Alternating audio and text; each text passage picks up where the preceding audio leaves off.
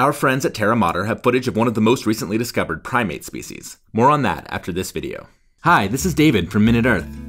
Over the last 20 years, this person has discovered the most new marine snail species. But he's not a professional scientist, he's a bus driver from Belgium who just really likes snails. But he's not alone. Restaurateurs, teachers, retirees, and other amateurs have discovered more than half of all the new species identified in Europe in the last decade. All around the world, scientists are taking a backseat to amateur taxonomists when it comes to discovering new species. Part of the reason is that discovering a species doesn't just involve collecting a new specimen. It also requires studying and describing it in detail, poring over research and talking to other experts to rule out the possibility that it's not just a variant of another species, and then, and only then, putting all that together and writing it up for an academic journal.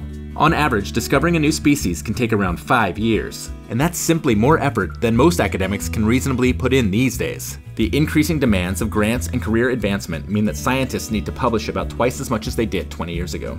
As a result, undescribed specimens, which means undiscovered species, are piling up in offices and museums. One molluscologist estimates he has more than a thousand potential new species in storage that he'll never get to. But amateurs don't have to publish or perish, and the recent digitization of scientific literature and taxonomic guides has allowed anyone with enough interest to become an expert in their preferred branch of the tree of life. Sometimes they're even teaching academics. Fly fishermen, obsessed with crafting more convincing bait, are teaching entomologists new things about mayfly larva taxonomy. What's more, as quality cameras and microscopes, and even genome sequencing have become more accessible, amateurs can now provide the necessary evidence that their specimen is distinct enough to be a new species. And there are a lot of potential new species out there.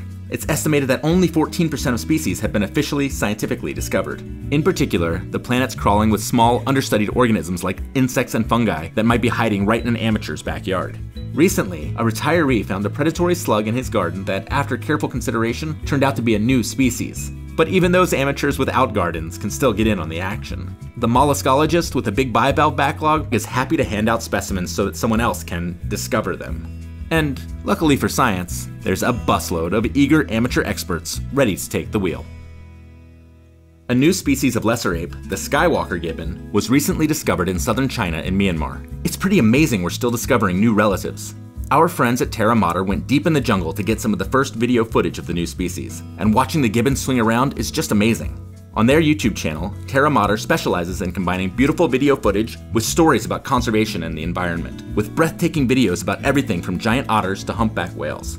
Check out Terra Mater and subscribe at youtube.com slash Official.